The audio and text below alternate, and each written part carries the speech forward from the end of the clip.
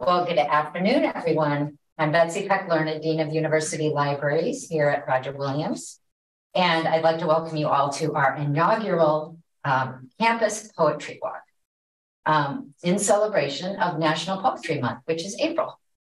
The theme for the poetry walk is celebrating the spaces we live in. So, what is a poetry walk?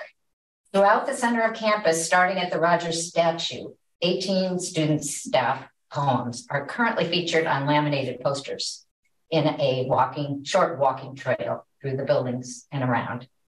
Um, additionally, the poems are memorialized and archived as a permanent digital exhibition in the library's digital repository, thanks to Mary Wu, our um, digital scholarship librarian. Um, this afternoon's event features our esteemed guest speaker, former poet laureate Robert Pinsky, whom we had the pleasure to host virtually in 2020 on Zoom as part of our Talking in the Library series. And I know some of you were there because you mentioned it. Uh, Professor Adam Braver, the library's program director, will be introducing Mr. Pinsky in a moment. The reading will be followed by a reception for all of you, including the featured poets and our speaker.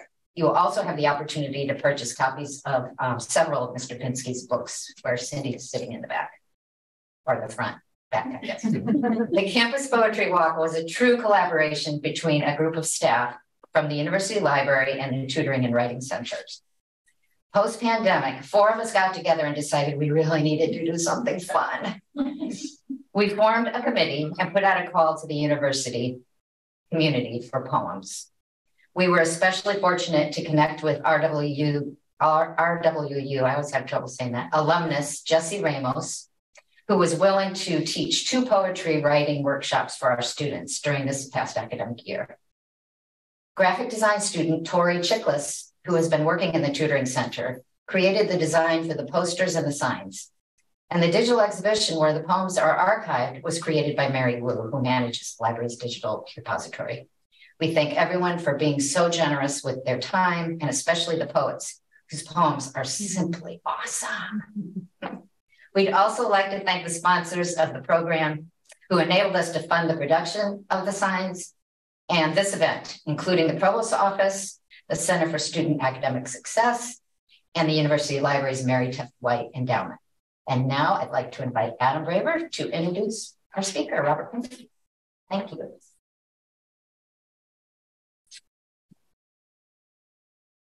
Right.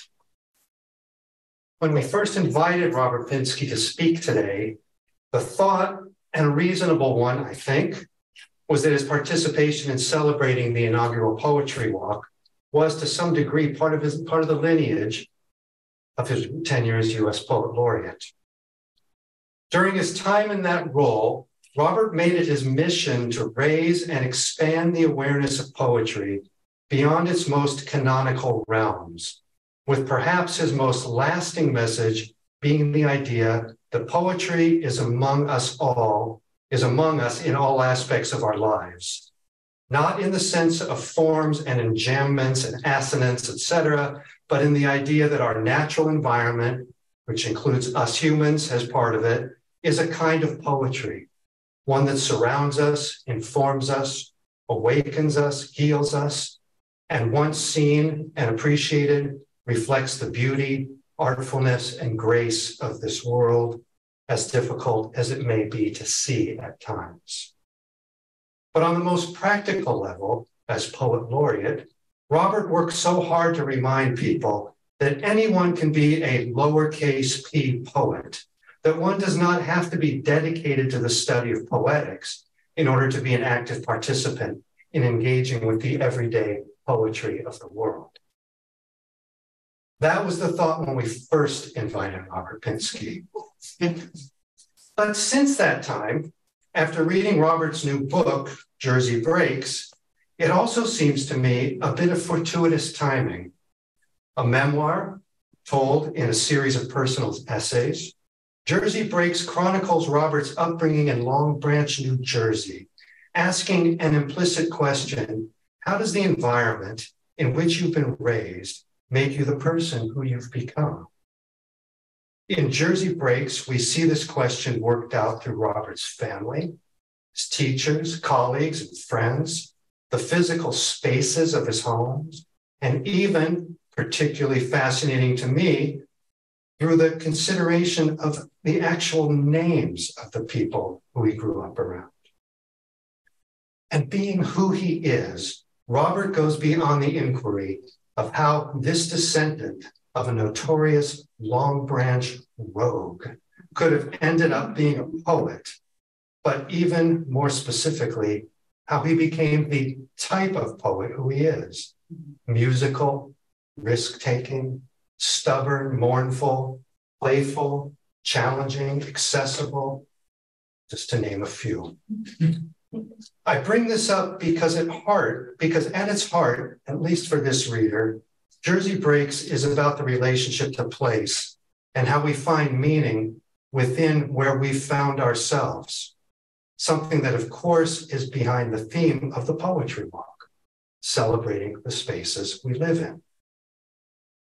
Like Robert's book, his mission, and of course, his deeply affecting body of work, through this campus poetry walk, not only are we able to honor the public display of poetry as a way to engage with our world, but we're also able to think about what the spaces mean to us, and, and most importantly, to the collective us, our community, whose borders, one hopes, through the everyday poetry of the world, will keep expanding and expanding and expanding and welcoming in more and more people. In short, I can't think of a better person to celebrate this space with us. Please welcome Robert Pinsky.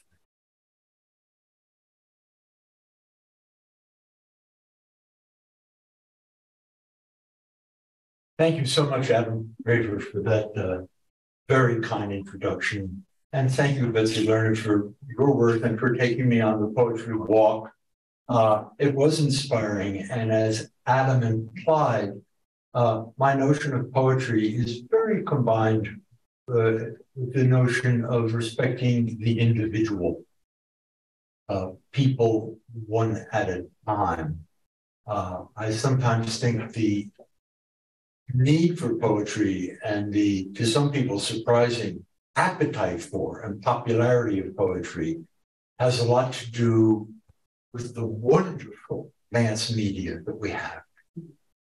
Every one of us has in our pocket or in our purse so much music and video and jokes. And it, that is great beyond a question and our big, huge TV screens that are as good as movies. And all these things I love and use, and they are on a mass scale by the nature of the medium. That is not to say it's bad. Many great things are on a mass scale. I know there is such a thing as a great sitcom probably even a few commercials are great. And uh, believe me, I know that some poems are stupid. Possible to have a poem to be really boring and dull. It all depends. But the poem, by the nature of the medium, is on a human scale and respects the dignity of the individual.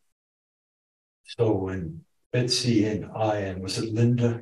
Susan. Susan. Betsy and Susan and I took a walk there to see the poems. Walking like speaking, everybody does it their own way. It was slightly chilly. My hosts were worried that I had enough to keep me warm. It was on a human scale. And when we say media, the mass medium, media is the plural It refers to the medium of digital devices, the medium of film. An artist has the medium of oil or watercolor. Um, the medium for poem, I believe, is one person's voice.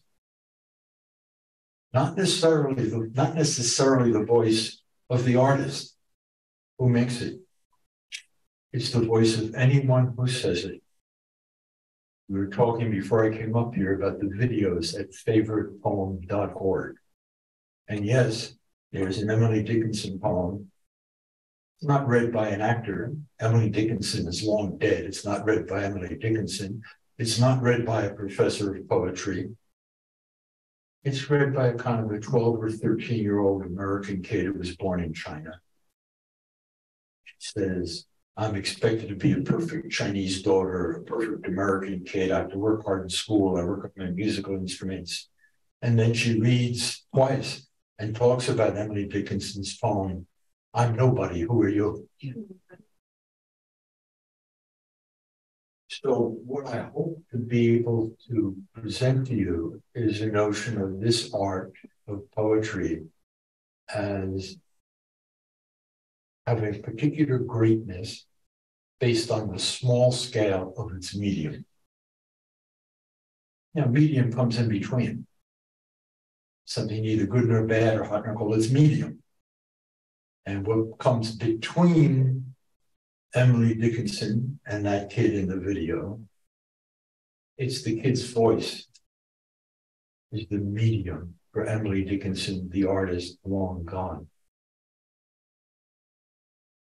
The normal procedure for an occasion like this one is somebody talks for 40 minutes, God forbid, even more. and then there's uh, questions and remarks from the audience. Uh, I have an impulse that I've sometimes felt before to maybe not do it that way. Maybe I will pause from time to time and invite interruptions, questions, kind remarks, gentle remarks. and uh, if anybody has anything they want to say before I start reading from my work, that would be fine and appropriate. Yes, ma'am. We're just glad you're here. So glad you're here. A little bit louder, please. We're so glad you're here. Thank you very much. That's reassurance counts.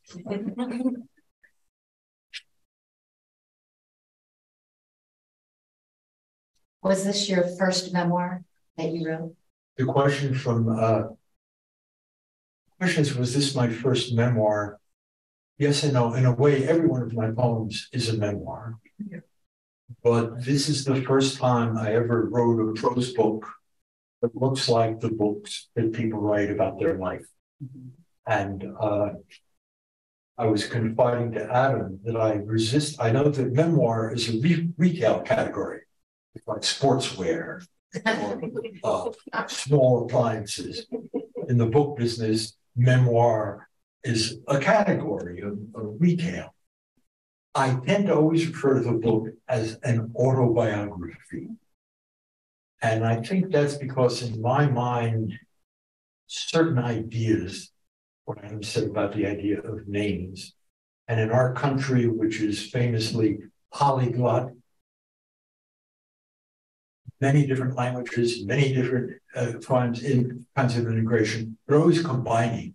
I think sometimes neglected, sounding mixed. Any individual is. Uh, the categories you fill out on questionnaires about your ethnicity, uh, I think at least half of us feel, well, I'll say that. But I'm also this. um, that idea and the way it's so often reflected in names and the kind of town I grew up in. I grew up in a resort town. In a way, was the opposite of Newport. Newport was the old, now obsolete idea of the upper class, hereditary upper class. That's where they went in the summer, 1870s, 1880s, 1890s. My hometown, Long Branch, New Jersey, was very famous at its time. There's a great painting in the Museum of Fine Arts in Boston where it is called Long Branch, New Jersey. He was sent there by Harper's Magazine to cover it. Long Branch is not where the elite, the old elite went. That was Newport. Or maybe Saratoga Springs, New York. Long Branch was where show business people, new patent medicine millionaires, sports people. Long Branch, New Jersey is where the modern idea that replaced the upper classes, the modern idea of celebrity was born. Celebrity was invented in Long Branch. Famous gambler Diamond Jim Brady went there with his girlfriend, uh, uh, Diamond Lil, Diamond Lil Russell. And the first electric cars, he had a fleet of them. It was lit up inside, these two overdressed big people riding up and down the boardwalk. Uh, President Grant loved Long Branch, fast horses, women, the boardwalk. It was all kind of vulgar and showy, and it's what we have now to replace the upper classes. And in my town, people were very conscious of your ethnicity and your name. So that if your name was uh, Johnson or Robinson, to me, that meant either you were a black person or you were a Protestant. And in my neighborhood, Protestants were a minority. Much more likely to be an Italian or Irish Catholic or Jewish, or in the strange neighborhood I described in my book. I lived, uh, I lived on Rockwell Avenue. Went back to Long Branch High School after I got to be a big deal to people the one thing that most impressed the students was that I grew up on Rockwell Avenue. Because Rockwell Avenue, I lived actually right across the street from the junction with Monmouth Avenue. Monmouth Avenue was all black. Rockwell Avenue was multi-family houses and rooming houses, mostly Italian, some Jewish and Irish. And at my end of Monmouth was Dr. Julius McKelvey, the black doctor in the town. I remember seeing him in his three piece suit. And that was sort of like one end of Monmouth, and the other end of Monmouth Avenue was the Tally Ho Tavern that I tell about in the book. And that's where I saw the poster for the dancer Little Egypt. Little did I know that for a century, dancers called Little Egypt, of various colors and ethnicities and kinds of dancing, had appeared at different stages. So eventually that was covered by Elvis Presley. Started with the coasters, Little Egypt. So in that autobiography, I try to reflect on things like the hundred year history of Little Egypt. The fact that Dr. McKelvey, I learned decades after I lived there, he'd been active in the early years of the NAACP, tried unsuccessfully, among other things, to integrate to integrate the Atlantic Ocean. The beaches in my hometown, Long Branch, there are many beaches now, just about 15 or 20 beaches one, you're allowed to go into that skin that had any African relation. God forbid the, uh, the white people might get into the same Atlantic Ocean beach. It's the black people, both absurd and tragic. And uh, I try to remember my own relation to history. And that's why I prefer the term autobiography. It's my first autobiography.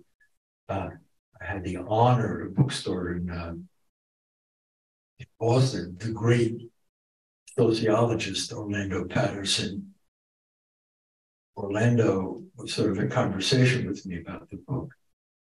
And he pointed out that that neighborhood that I lived in, as I say in the book, it was, you could call it a, two segregated neighborhoods.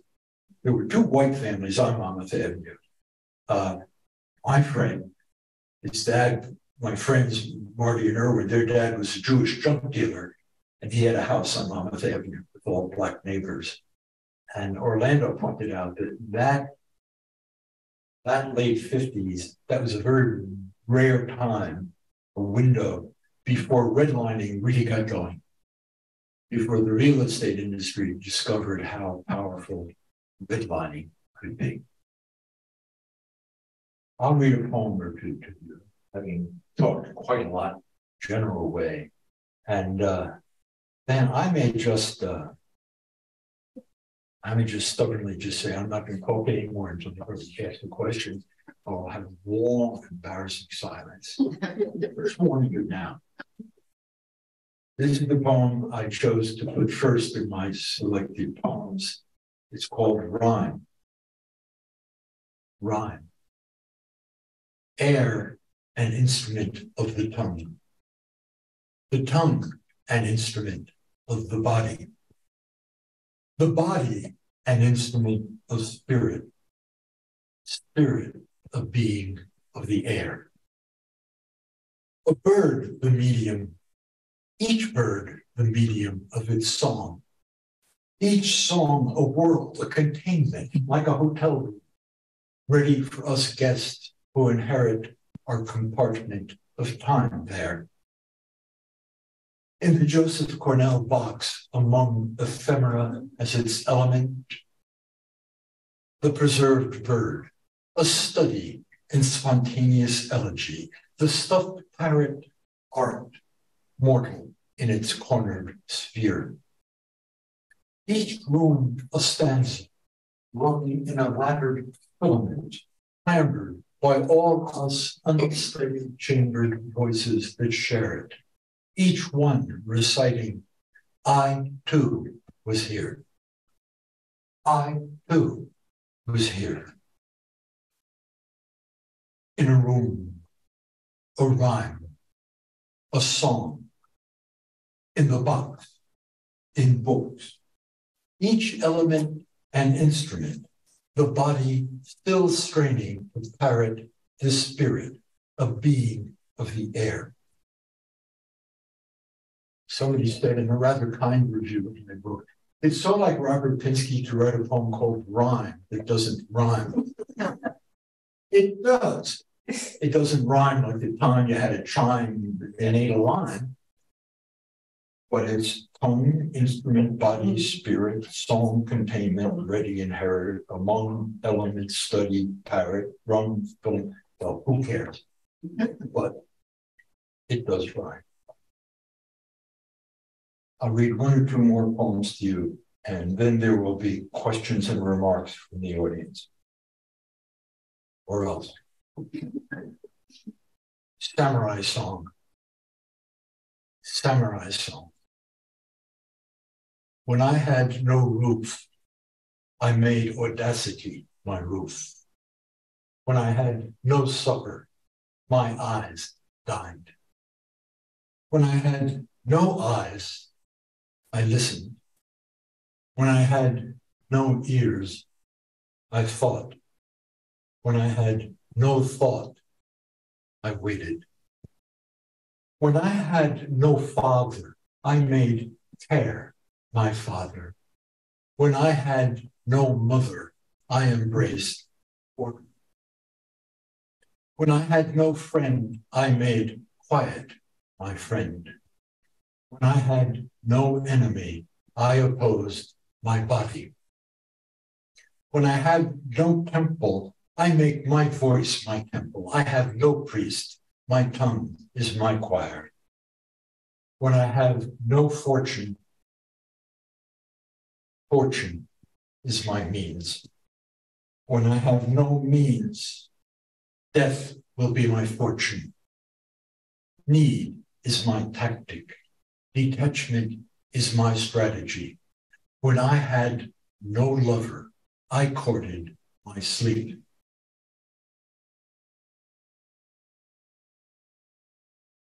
Adam told me, and he said to you just now, that uh, a theme for me is in relation to place.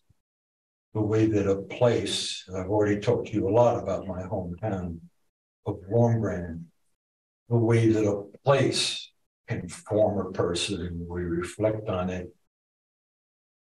I'm going to read a poem to you it sort of makes fun of that idea. Kind of a parody of poems and writing about places. It falls into stereotypes and cliches so easily. So then finally one person's memoir about all the Polish miners in my part of Pennsylvania, and somebody else's about all the Cape Verdean fishermen in my part of Massachusetts, and somebody else, oh yes, the Dominican neurologist that I used to know, and blah blah blah, and it all sounds the same. It becomes part of a pattern, and that's why in the course of this poem, there's a moment in this poem where I become sort of Chinese and I mention my Irish grandmother. And you don't know me, so maybe I do have. And the poem is called Window. The idea is that everybody has a window of time, place. I have a window of having born in the middle of the 20th century to two Jewish people in the English speaking post World War II United States of America. That's my window. And we can add, I'm heterosexual, getting quite old.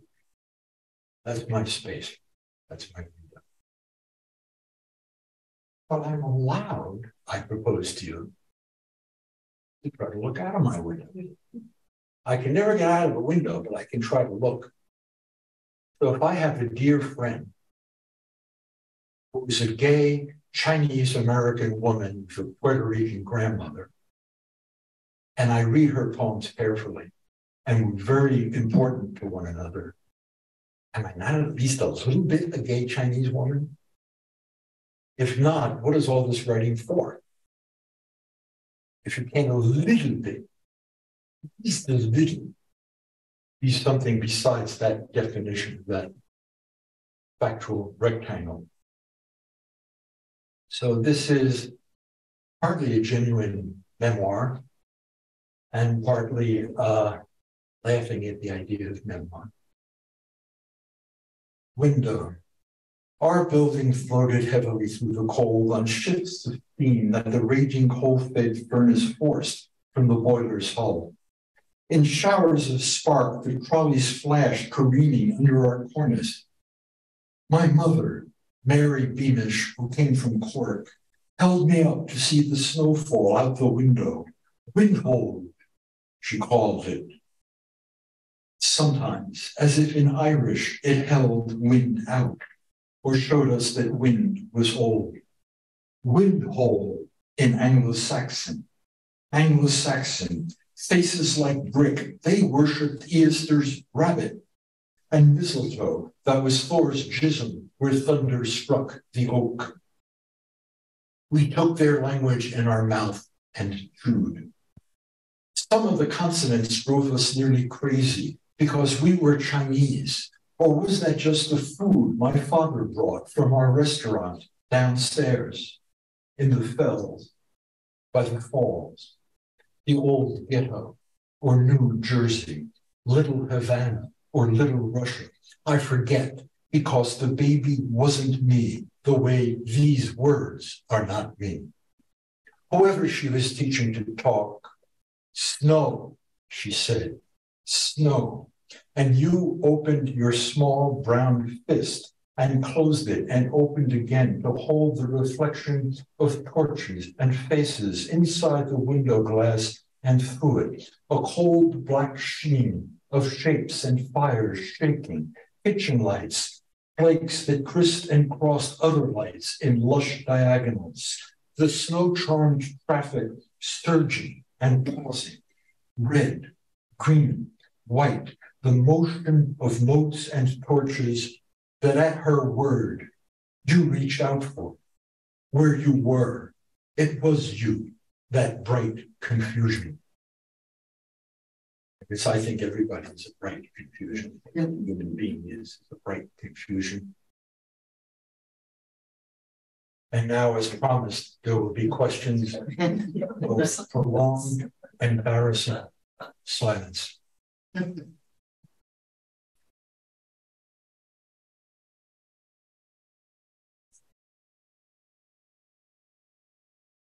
have a statement. I, I, I'm so in awe of your readings and your voice that I, am just enjoying it.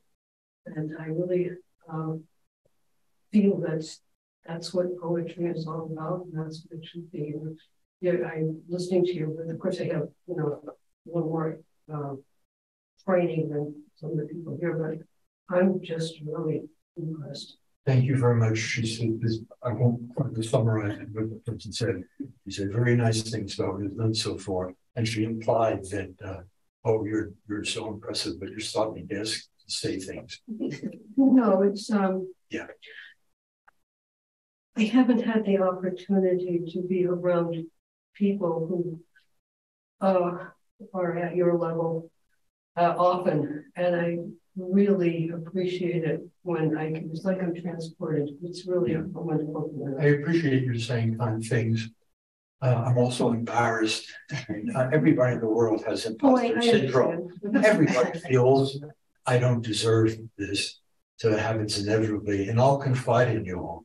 It hasn't made any easier that I see Robert right there.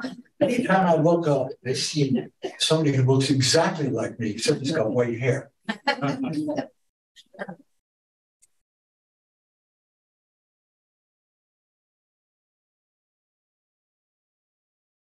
Yes. I'm wondering, um, you know, as an as an artist, as a writer, um, I think you know the freedom of expression is so important, and I wonder if it's harder to be a poet or a writer or an artist today when there are maybe external constraints on what you can say um, or express. You know, cancel culture and what is okay to say and what is not okay to say, and that that kind of impulse in society. I think you heard the question. It says the things like incorrect speech, cancel culture. Does it inhibit me? Is it a problem for me? Uh, there used to be a theory, I haven't heard it very much lately. Used to be a theory that why there are so many wonderful poets that came out of uh, the first early 20th century in Russia is that the regime was so punitive. Poets like Mandelstam, Akhmatova, they and their families were put into prison. Their works were censored. I remember meeting Polish poets who said there's a tradition of writing for the desk drawer, not write for publication. The great short story writer, the Russian short story writer Isaac Babel, was first silenced and then basically tortured to death. My problems are yours so mild compared to the history of problems that people have been known to have. And though one is, I'm inclined to not want to hear that theory. I remember when I used to hear it a lot, it used to bother me. There's enough in it to suggest that Oh, are you afraid of somebody who's going to criticize you for this or that? I don't want to stoke your fire. Figure out a way to deal with it that is not predictable. Figure out a way, whatever you are oppressed by internally, and there are many problems inside Robert, believe me. Then there are other problems outside Robert. Mental part sometimes. That's your job. If you don't look at your work is on the table, right? Say, oh, I don't have any work. Anything to write about it. Keep going. So, uh, as I said to Betsy Squid, yes and no. It's a serious question you ask. Um, there's a case getting a lot of attention in the Boston area. Have you read about this guy in Easthampton?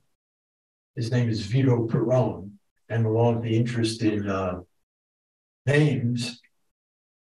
I went to school with a lot of people. Little, this guy's probably about 50, I'm guessing, put his pictures in the paper. But I went to school with a lot of people. Most of the people I went to school with were named Vito Perrone, so to speak. And this guy, he's the acting superintendent in West Springfield. He was a principal in Easthampton He's been a teacher, he's been an administrator. he was in the final stages of getting a job as superintendent of schools in this little town of Easthampton. And he wrote an email, his final negotiations with the person who was, I think she's the chairman of the school board and her assistant. And he said to them, Dear ladies, I would like to have my vacation time defined differently. I would like my salary to be adjusted like this. And the chairman of the school board, the assistant later dissociated from this. She said, I don't feel the way she does. Chairman of the school board said, You addressed us as ladies. That is a microaggression. And for uh, an educator not to be aware that the word ladies is a microaggression disqualifies you for this job. I don't pretend to know what the justice. Uh, anyway, there have now been a hundreds of students and teachers demonstrated on his behalf. Other people said, ah, he was, of course, there's no unanimity about it. So the school board met and they offered the job to another one of the three candidates. Understandably, she turned it down and said, other things I want to do. this is our times.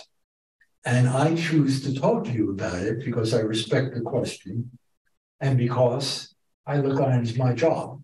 My job as a teacher, my job as a poet is to think about it.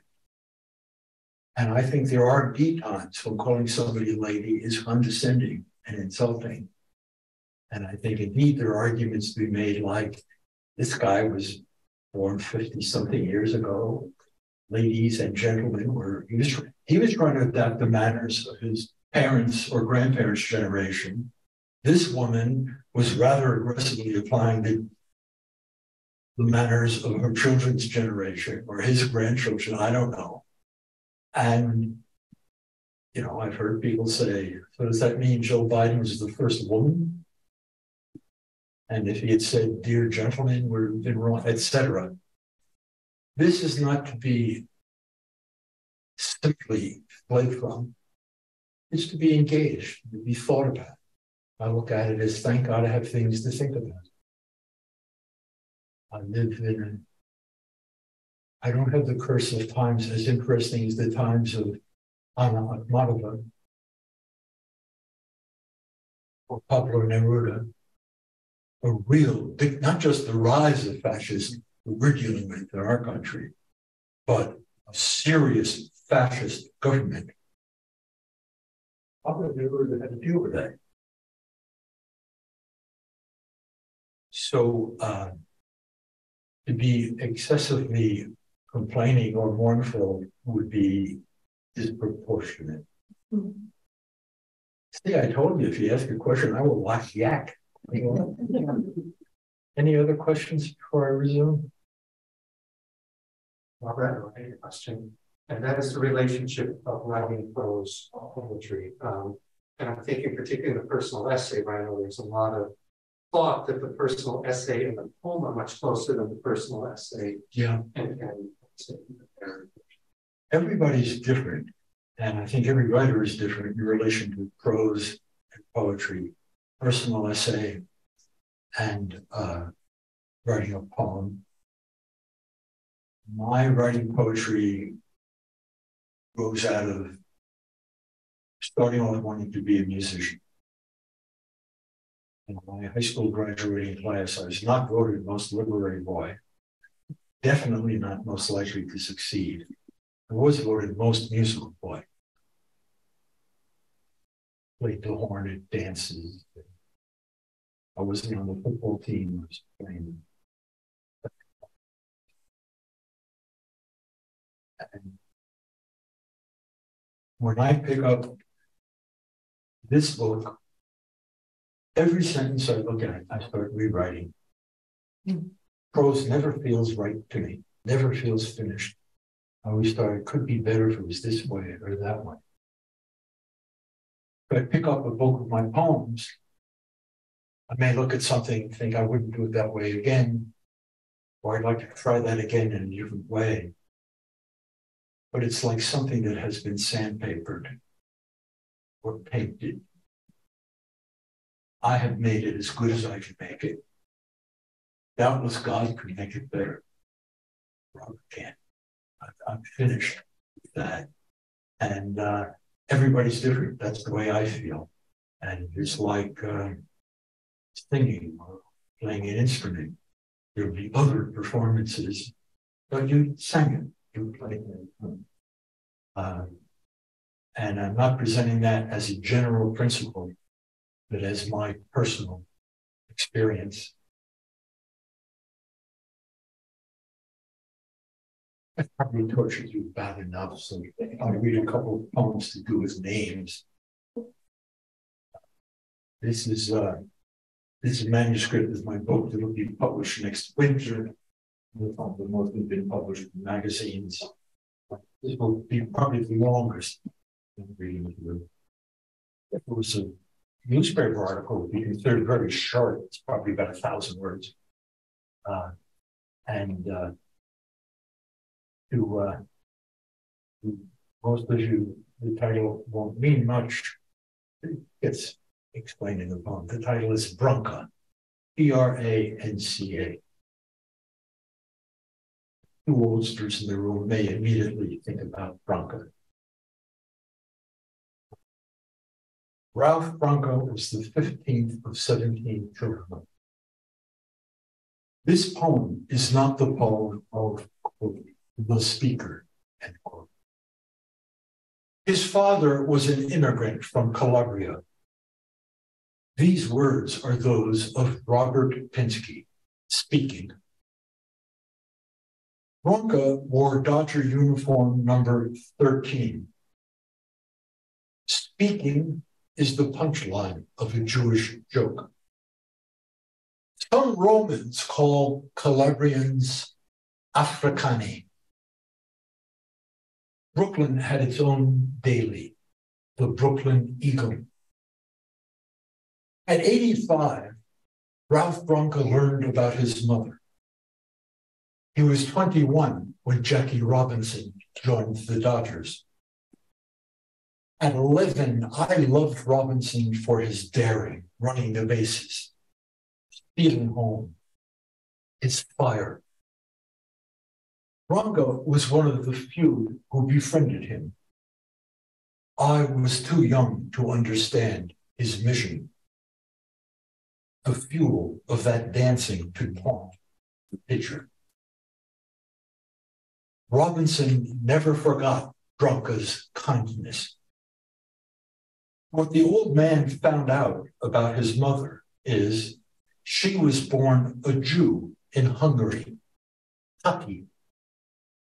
After he gave up the most famous home run ever, back in the clubhouse, Branca lay weeping, face down. Kati gave birth to 17 Catholic children. The Giants won the pennant, 1951. Branca means claw, a fit name for a pitcher. His teammates thought it best that he cry alone. But, quote, only my dear friend Jackie, who knew me so well, came over and put his arm around my shoulder. Quote. The Nazis killed the aunts and uncles Branca didn't know existed until he was old.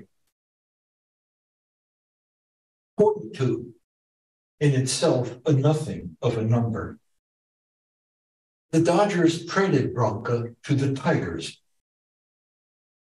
Grief with its countless different ways and strains. Glory, a greater thing than success, but slower. Some of the tigers who had been giants explained to Branca how the giants had stolen the signs from opposition catchers.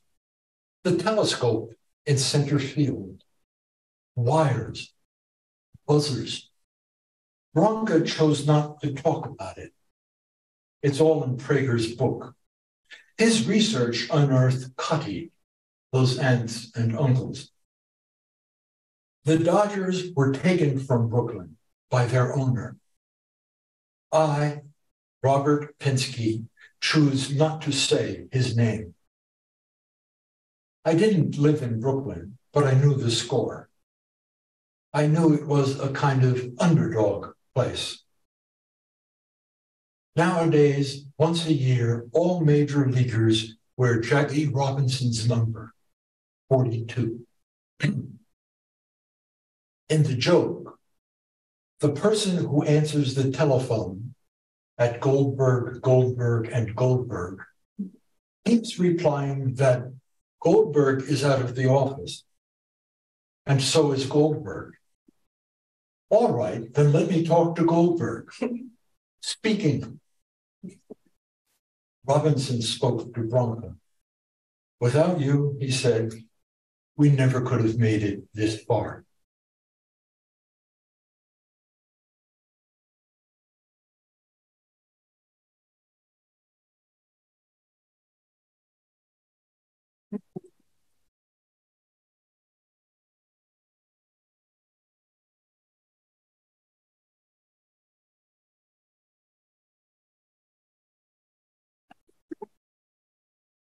I put a special pressure and embarrassment on the students. Anybody here under 25, what the hell's the matter with you?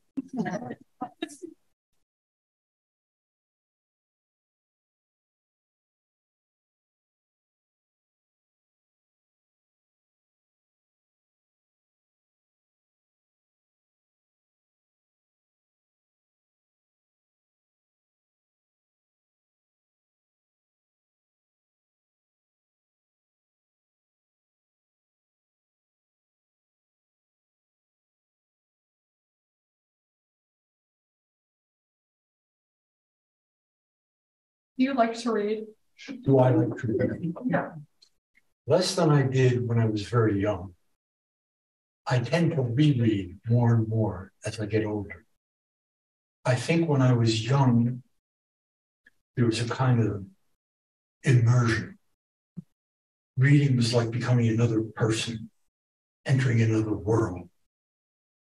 When I was 12 years old, reading Alice in Wonderland, or kidnapped to Treasure Island, I was dissolved into that other world. When I got more ambitious to be a writer, reading Emily Dickinson, William Butler Yeats, I was apprentice. I was trying to, how do you do that? Now I've had years of having to read things professionally, book review, things by students, and reading is less of a delicious escape for me. And therefore, I say to you, I perceive that you're possibly under 25. So I say to you, enjoy it while it lasts. Thank you for the question. Um,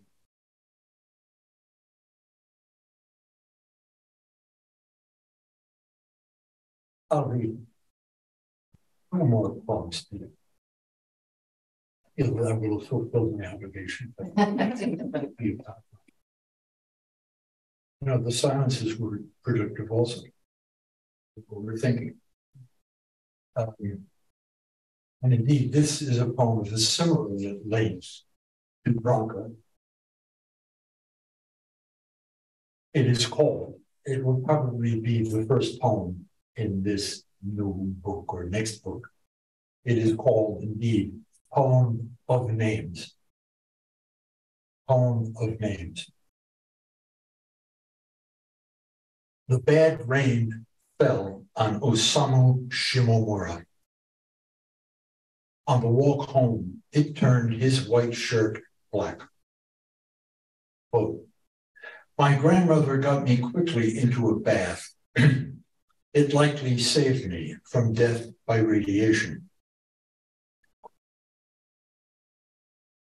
Tougaloo's Ernst Borinski would not discuss his family killed by Nazis. Quote, an area I have liquidated for my mental health. Quote. His grave at Tougaloo a kind of shrine. Salma begat Boaz, and Boaz begat Obed, underground river of passion and retrenchment. Thank you, Elliot and Simon and Hazel, for wanting to talk to me about my dying someday.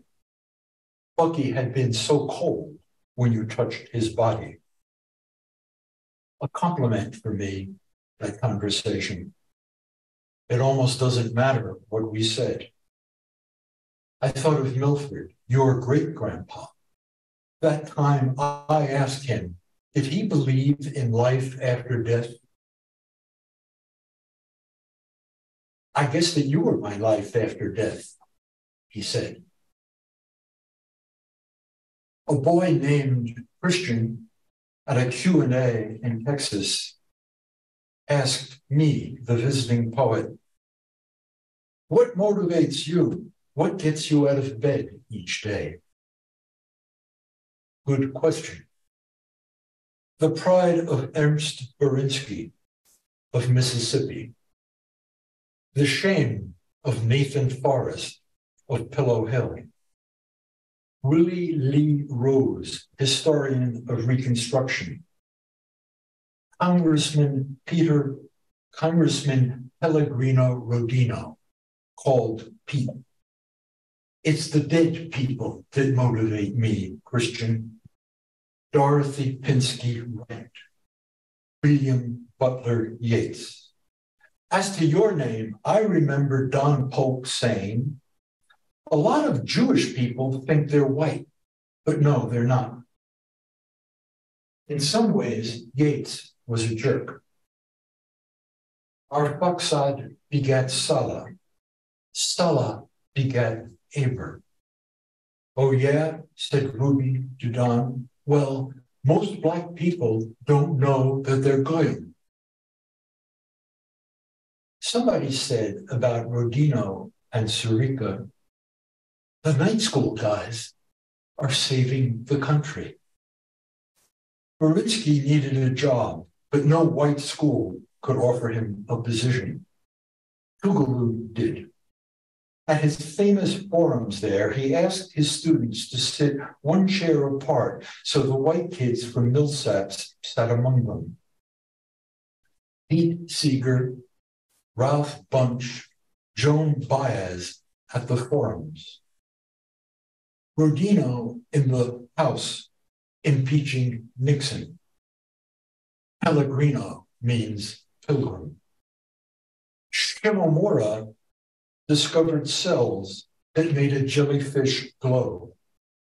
He garnered a million samples in Puget Sound. A protein in Aequorea victoria, embedded to glimmer in other life, transformed the study of living things. Years later, the Exxon Valdez oil spill left nearly all those Eichhoria dead. A poisoning that Shimomura indicted, he whose grandma had washed away the ashes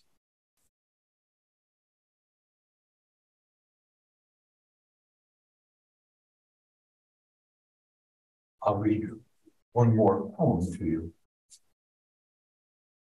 Very short poem.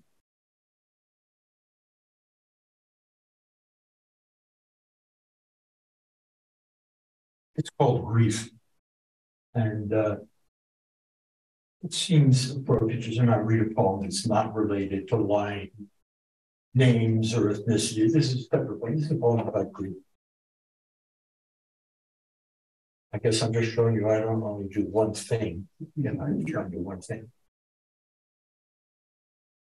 Grief. I don't think anybody ever is really divorced, said Lenny. Also, I don't think anybody ever is really married, he said, because because English was really Lenny's second language, and because of Yiddish and his displaced place in the world, he never really believed in his own prose. He wrote sentences the way a great boxer moves. Near the end, he told me, I'm in hell. Something Lenny might have said about hunting for a parking space in Berkeley. Mike, too, was himself. His last month, too weak to paint or make prints, he sat and made drawings of flowers, ink attentive to rhythms of beach rose, wisteria, lily, forms like acrobats or Cossack dancers. Mike had a vision of his body dead on his studio floor, seen from high above. He didn't feel sad or afraid at seeing it, he said, just sorry for the person who would find it. You can't say nobody ever really dies. Of course they do. Lenny died. Mike died. But the odd thing is, the person still makes a shape, distinct and present in the mind, as an object in the hand. The presence in the absence. It isn't comfort, it's grief. Thank you.